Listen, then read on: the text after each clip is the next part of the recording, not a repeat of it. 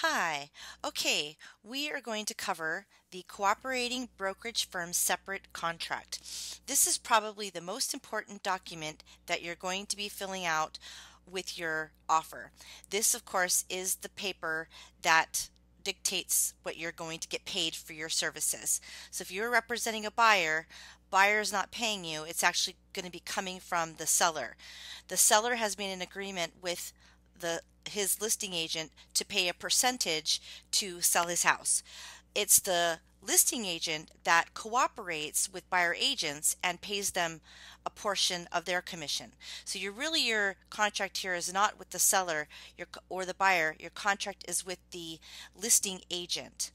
Okay, so this cooperating broker agreement uh, needs to be filled out and submitted with your offer.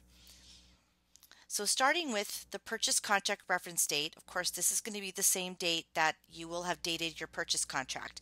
And a lot of times when you're going into zip forms to create your, your purchase contract and all your addendum, you're going to want to attach the cooperating broker agreement as well because the information that you're filling out on your purchase contract is going to go over onto your cooperating broker agreement.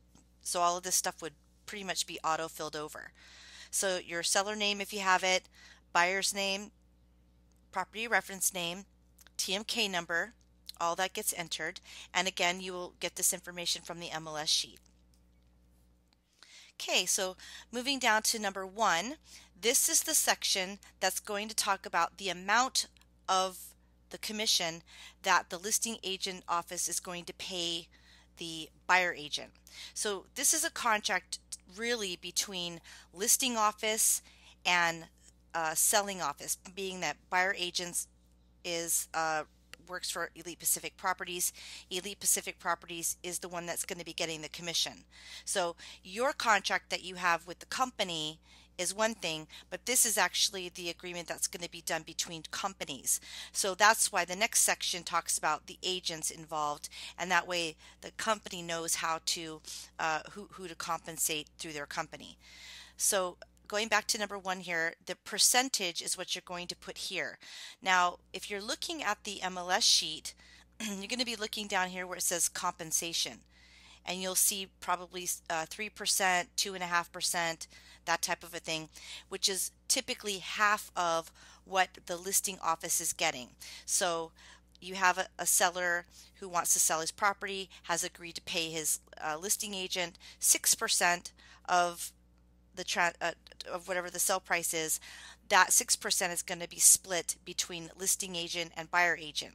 So if you see a number here of 2.5%, then obviously, or you would obviously assume that that means that the, the, the cooperating, sorry, the, uh, the commission is 5%. It's not always the case. Sometimes it could be that the um, the listing office is getting uh, 2% and maybe 3% is going to the buyer agent.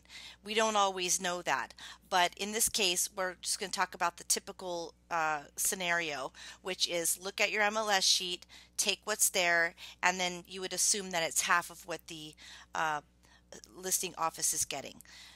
The other thing to look at as well is whether or not there's GET tax being paid. When you meet with the seller and you're taking a listing, you're going to uh, decide whether or not you're going to charge your seller the GET taxes. Some people do it, some people don't. Uh, so you'll see some listings will say GET tax paid by seller yes and some will say no. If you notice that it says yes that means that the seller has agreed to pay the listing office GET taxes on the percentage that he's paying them to sell the house in which case you want to make sure you get that GET tax as well which is actually a little bit more money. So when you go to fill out your form you're going to put in the percentage that you saw on the MLS in which case this was more like two and a half percent because I just showed you that so you just put two and a half. And then I kind of always like to spell it out here so that there's no mistake. So two, oops. Geez, my typing is terrible. Of sales price plus GET. Now, obviously, if you saw the word no on the listing, if you saw no here, you're not going to want to put that GET here. You're going to make sure that it's not there. Just leave it off. the next box here talks about the percentage of the listing brokerage firm is going to share with the cooperating broker firm. Now, like I said, you don't always know what goes on behind the scenes, but the typical way that it works is that whatever the seller agreed to pay the lister to list his house, that is usually split 50 50 between a listing agent and the buyer's agent. Obviously, if it's different and someone has mentioned it, then you might want to change this percentage here.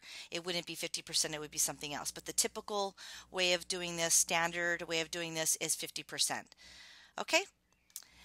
The next box down, two and three, talk about who is listing and who is the cooperating broker.